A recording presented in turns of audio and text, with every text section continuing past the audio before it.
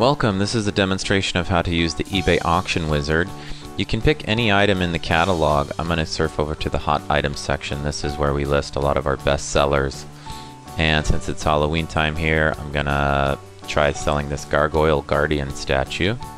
This item's on sale, so that's a great item for eBay because people on eBay are looking for a deal. I'm going to click the Sell on eBay button. And step one is just select a category. I'm going to put this in holiday and seasonal decor, Halloween. Hit the save next button at the top or bottom. Step two is choose a template. If you don't like a template, you can do a plain no border template, um, but I'm going to use the Halloween template. Step three is some pricing info. You'll see the suggested retail price and your cost is listed here. Um, I'm going to do an online auction listing, but you could choose fixed price and I'm going to start my price at $34.95 and I'm not going to do a buy now price for this one. And sales tax has already filled for me. The title and the description are already filled as well. But I'm going to bold it and I'm going to change the font to an orange. Make it look a little more flashy.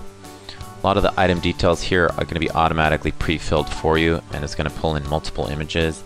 This also lets you know that this item has a high-res image. I'm going to add a basic hit counter, and then I'm also going to click on compare your listing so that you can see what other people are selling the products for. And here I see that I'm pretty competitively priced, so I'm going to hit the save next button. Listing duration, I think I'll change this to five days. And then the shipping costs have all been pre-filled for you. This is exactly what the shipping will, will cost.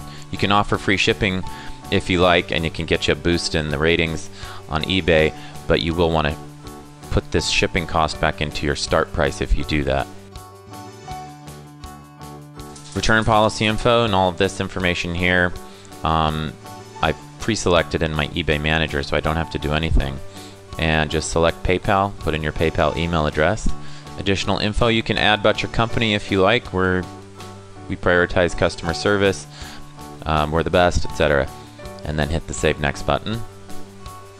There's an optional eBay upgrades on this page. eBay charges for them, so I'm not going to do any of those. And now I can preview my listing. I like it, so I'm going to click the Verify Listing button. And on this page, eBay will show you um, your listing fees, insertion fee 30 cents. And I'm going to go ahead and post this to eBay now. Click OK. This is going to shoot it right over to eBay, takes a couple of seconds we can see your eBay listing was added successfully. And we can click on the link to view the eBay listing. And you can mouse over to get that nice zoom I was telling you about. And if you scroll down, you'll see that beautiful template right there. You can close this, come back. Um, the item is now in your auction alerts, so you'll get an email if it drops below 20 in stock. That way you can keep track of how many are left. And you can also tweet about it if you want to integrate your Twitter account. That's it. I hope you've enjoyed this demonstration of the eBay Auction Wizard.